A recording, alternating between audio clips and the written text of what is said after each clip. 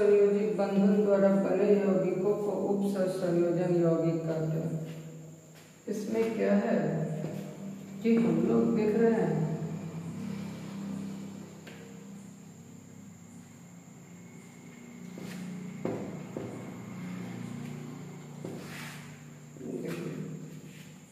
अब उपसर संयोजन यौगिक को पढ़ने से पहले हम लोगों को एक नया योगात्मक यौगिक का कंसेप्ट पता होना चाहिए। योगात्मक यौगिक यानी एडिटिव कंपाउंड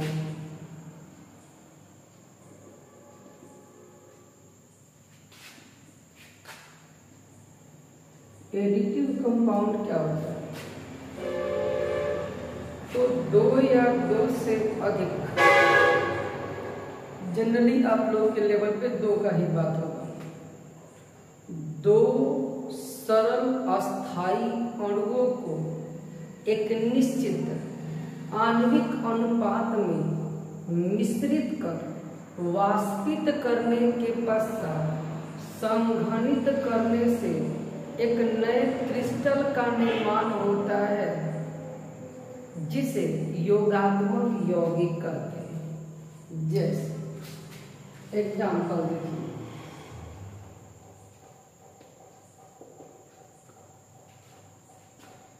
यहाँ K two SO four potassium sulphate एक यौगिक है L two SO four four thrice यह भी एक सरल अणु है। Plus twenty four H two ये जल है। ये जो सरल अणु है जब इन्हें आपस में मिलाकर उच्च ताप पे गर्म करते हैं तो ये वास्तविक होते हैं। उसके पश्चात इसे संघनित करने पर एक नया क्रिस्टल तैयार होता है K two SO four L two SO four whole thrice twenty four H two तो ऐसे यौगिक जो प्राप्त हुए, इन यौगिकों को ही योगात्मक यौगिक कहा जाता है। एडिटिव कंपाउंड कहा जाता है। Let us take another example FeSO4 है। NH4 whole twice SO4 plus six H two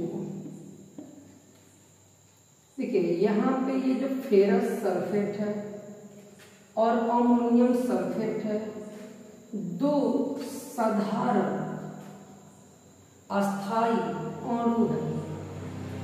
तथा जल इनको उच्च ताप पे गर्म करने से वाष्पित होंगे, उनको ठंडा करने के बाद जो नया क्रिस्टल तैयार होगा, वो है FeSO4 NH4 whole twice SO4 6H2 बउआ थोड़ा इन कंपाउंड का नाम बताओ। ये तो मुझे पता है कि आप सब लोग को पता है कि इसका नाम होता है फिटकिरी या पोटास एलम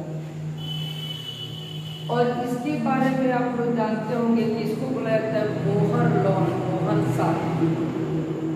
उम्मीद करता हूँ कि आप लोगों को पता होगा। मोहर लॉन यानी मोहर साल, और यह है फिटकिरी यानी पोटास एलम इसी तरीके से बाबू के सी एल है M G C L two है प्लस सिक्स एच टू है। इनके विद्यार्थी मिलने से क्या बनता है? K C L M G C L two six H two और इस कंपाउंड का नाम है कार्नालाइट ये इन यौगिकों को हम सब क्या कहते हैं? योगात्मक यौगिक कहते हैं। एडिटिव कंपाउंड कहते हैं। इसके अलावा बुआ, मान लो कि ये कैल्शियम, पोटेशियम, साइनाइड है, plus F E C L two ferrous cyanide है, जब इनको संघटित करते हैं तो ये बनता है K four F E C N whole six अब ध्यान से देखते चलिए, मज़े की बात आने जा रही है। बुआ यहाँ पे के सी एन है plus A G C N है, ये यदि कंबाइन हुआ तो ये बनेगा K A G C N whole twice मेरे विद्यार्थी समझ रहे होंगे यहाँ सिक्स और यहाँ टू क्यों लिखा गया क्लास में बताया था। नेक्स्ट अब बताओ बब्बो, यहाँ पे ध्यान से देख करके कि ये सरल अस्थाई अणुओं को मिलाने से नए नए क्रिस्टल यानी क्रिस्टलीय यौगिकों का या अणुओं का निर्माण हो रहा है और इन्हीं अणुओं को होगा कहा जाता है योगात्मक यौगिक। अब योगात्मक यौगिक का पहचान ध्यान से देखिएगा तो दो चीज़ मिल रहा होगा कि कहीं पे डॉट है, देखो ध्यान से, कहीं डॉट है तो कहीं गुरु कोष्ठिका यानी बड़ा कोष्ठिका है। इन्हीं पहचानों को देखिए ध्यान से।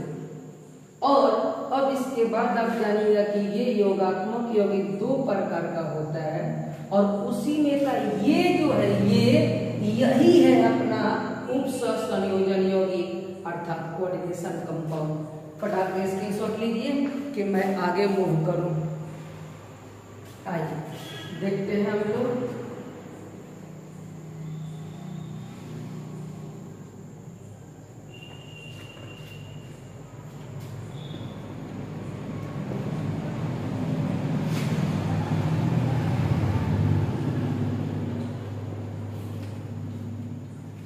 अब देखिए से ये जो योगात्मक यौगिक है। योगात्मक यौगिक जो अभी अभी हम लोगों ने सीखा डेफिनेशन आपको याद हो गया होगा, कि दो सरल अस्थाई अणुओं को एक निश्चित आणविक अनुपात में मिलाकर गर्म करने से ये वाष्पित होते हैं तथा ठंडा करने पर एक नए क्रिस्टल का निर्माण करते हैं और उस नए क्रिस्टल यौगिक को ही क्या कहते हैं? योगात्मक यौगिक कहते हैं। अब इस योगात्मक यौगिक का मुझे प्रकार बताना है आप सबको। टाइप ऑफ़ एडिटिव कंपाउंड याद रखिएगा, यह दो प्रकार का होता है। पहला है लवण द्वीप लवण यानी डबल सर और दूसरा है संकुल लवण स्टूडेंट बी केयरफुल ये इंपॉर्टेंट है।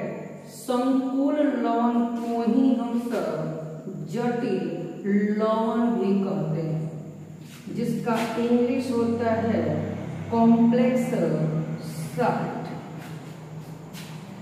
जटिल लवण यानी कॉम्प्लेक्स साल्ट सम्मिश्र लवण भी इसे कहा जा सकता है। यही है उप अब ध्यान दीजिएगा, क्या है? द्वीप लवण। एक ऐसा योगात्मक यौगिक जिसे जलयोजित करने पर, जलयोजित करने पर यह पूर्णतः आयनों में टूट जाता है। उस योगात्मक यौगिक को द्वीप लवण कहते हैं। वन सेकेंड वे सभी योगात्मक यौगिक जिसे जलयोजित करने पर वह पूर्णतः आयनों में टूट जाता है। क्या कहलाता है? द्वीप लवण कहलाता है। इसकी पहचान जिसमें डॉट होता है, जैसे देखो एग्ज़ाम्पल के K2SO4 Al2SO4 whole thrice 24H2O ये जो कंपाउंड है, यदि इसको जलयोजित किया जाए तो जलयोजित करने के पश्चात ये ब्रेक होगा के प्लस में। SO4 माइनस माइनस में और Al3 प्लस में। मतलब दो धनायन बनेगा और एक ऋणायन बनेगा। ये पूर्णतः आयनों में टूट जाएगा। तो जो, वो अब देखिए, इसमें ये नहीं बोला कि मैंने ये पोटेशियम एवं बनेगा। पोटेशियम दो है तो दो ऑक्सीजन रहेगा मैंने बोला कि दो धनायन बनेंगे। एल्युमिनियम यहाँ दो को है तो दो एल्युमिनियम होगा। एसओ फोर्टीन और एक चार जो है तो चार को लिख देंगे। हमने ये बताया कि भाई, दो को धनायन और एक को ऋणायन में बदल जाएगा ये चीज़। मतलब कि ये पूर्णतः आयनों में टूट जाएगा। इसकी पहचान है ये डॉट, जिसमें डॉट दिखेगा वो द्विग्लौन नेक्स्ट संकुल लवण या जटिल लवण में क्या होता है? बाबू, मैंने आपके इस, आपकी स्तर पे, आपके लेवल को ध्यान में रखते हुए मैंने बोला कि जिसमें डॉट है उसको द्विग्लौन सिंपल पहचान, लॉजिक ना कि एग्जैक्ट बात हो। कौन ऑथेंटिक उसका आगे सुन। संकुल लौट है तो ये भी एक तरह का योगात्मक यौगिक ही है। योगात्मक यौगिक ही है। इनको जलयोजित करने पर कभी भी यह पूर्णतः आयनों में नहीं टूटते हैं। पूर्णतः आयनों में नहीं टूटते मतलब ये आंशिक रूप से आयनों में टूटते हैं। अब आराम से बोलिएगा, वे सभी योगात्मक यौगिक जो जलयोजित करने पर आंशिक रूप से आयनों में टूटते हैं संकुल लवण या जटिल लवण कहलाते हैं। ठीक ना? ध्यान रखिए, इनका पहचान क्या है, वो देखिए। जैसे जैसे K four F E C N whole six ये है संकुल लवण। अगला है K three C O X whole ये है संकुल लवण। Next N I C O whole four ये है संकुल नेक्स्ट नेक्स्ट है N I H two O whole six C L two ये है संकुल लवण देखो इन यौगिकों को संकुल यौगिक कहते हैं, जिसमें बड़ा कोष्टिका इसका मुख्य पहचान है। अब इसको देखो। K four A P C N whole six को यदि आप जलयोजित कर रहे हो तो जलयोजित करने के बाद यह कभी पूर्णतः आयनों में नहीं टूटता है। ये आयन में कैसे टूटेगा? ध्यान से सुनिएगा। ये आयन में टूटेगा बारह कोष्टिका के अंदर वाला जो होगा, वो हमेशा एक साथ रहेगा। वो कभी नहीं बिखरेगा और बड़ा कोष्टिका के जो बाहर है, वो एक आयन बनेगा। अब बताइए, पोटेशियम के एक इकाई धन आवेश होता है, पोटेशियम चार गो है तो चार गो के प्लस बना। जब चार गो प्लस यहाँ से निकला तो इसके ऊपर कई गो आवेश चढ़ेगा कि ये पूर्णतः मिलके उदासीन हो जाए। चार माइनस चढ़ेगा।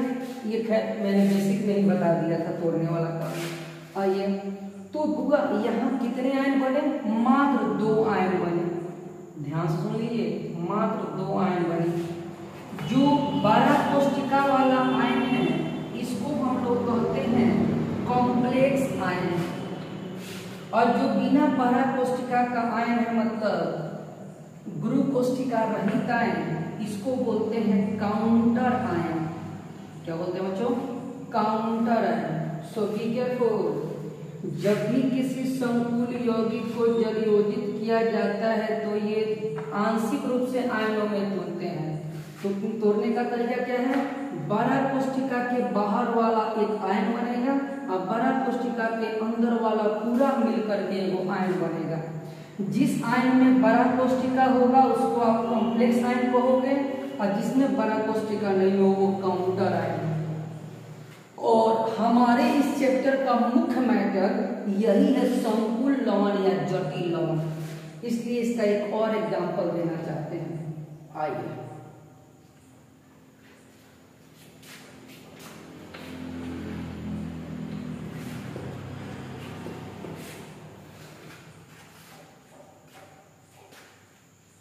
देखिए, एक और एग्जांपल जैसे यहाँ N I H two O whole six C L two अब इसको भी हमने जलयोजित किया तो क्या होगा?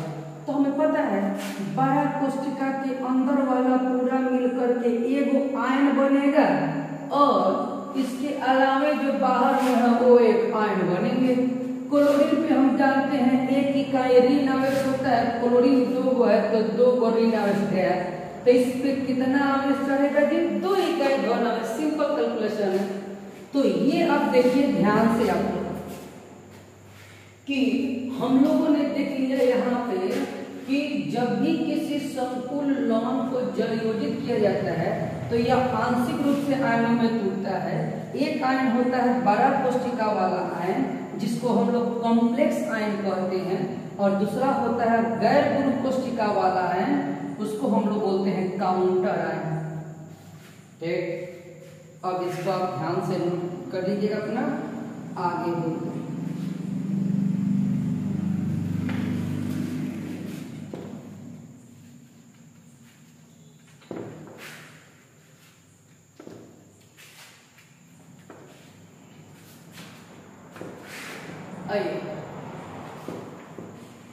अब थोड़ा सा हम चाहते हैं आप लोग को कि संकुल यौगिक से संबंधित पद कुछ बताया जाए चलिए, संकुल यौगिक से संबंधित पद।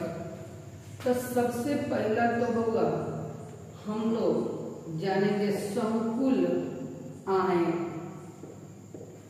उसके बाद विद्यार्थी जानेंगे प्रति आयन, जिसको काउंटर आयन कह रहे थे हम लोग। इसके बाद जानेंगे सेंट्रल एटम अर्थात केंद्रीय परमाणु। चौथा टर्म हम लोग जानेंगे, जो सबसे इंपॉर्टेंट है लिगैंड लिगैंड उसके बाद विद्यार्थी हम लोग जानेंगे यहाँ उप संयोजन परमाणु यानी कोऑर्डिनेशन एटम नेक्स्ट है।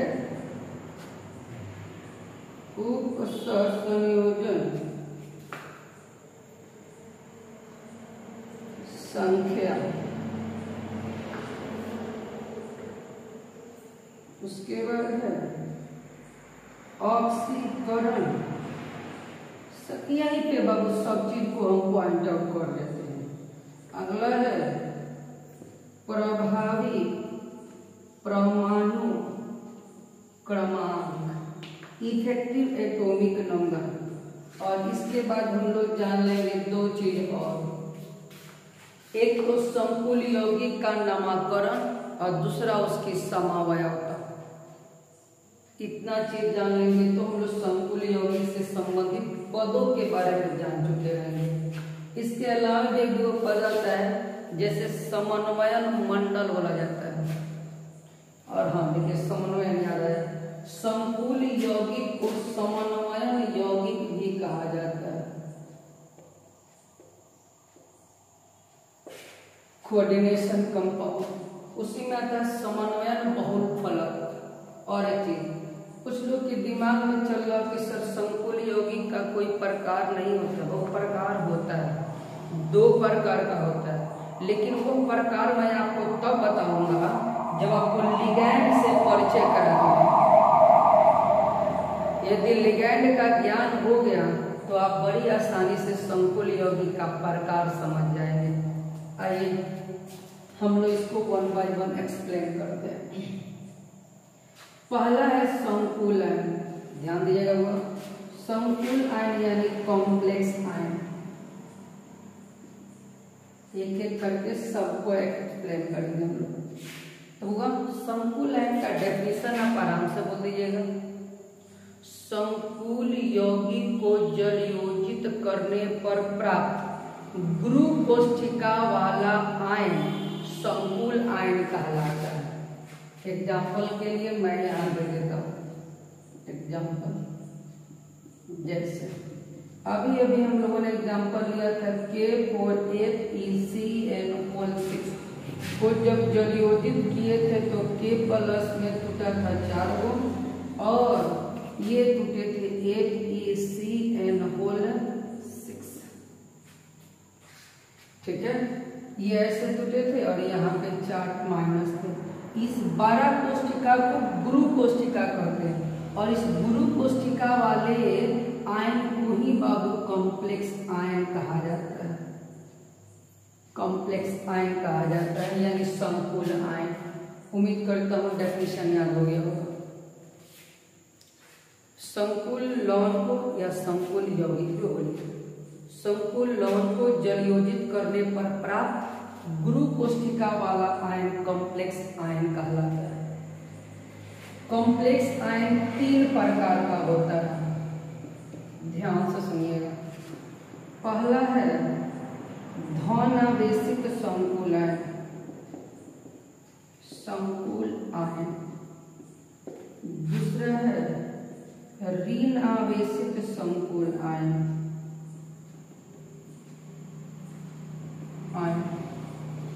और तीसरा है उदासीन संकुल ध्यान दीजिएगा संकुल आयन तीन प्रकार का होता है धन आवेशित संकुल आयन ऋण आवेशित संकुल आयन और उदासीन संकुल आयन देखिए ध्यान से। धन आवेशित संकुल आयन नाम से स्पष्ट है, वैसा संकुल है तो धन आवेशित जैसे N I H two O whole six two plus. देखा, है, पर दो को धन अस्थायी संकुल आयन इसी तरीके से F E, N, H, three, whole six लो या थ्री प्लस।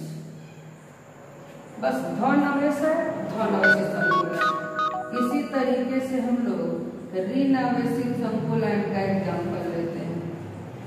जिसपे ऋण आवेश हो, जैसे अभी अभी ऊपर में हम लोग एग्ज़ाम्पल लिखे हैं ए पी सी एन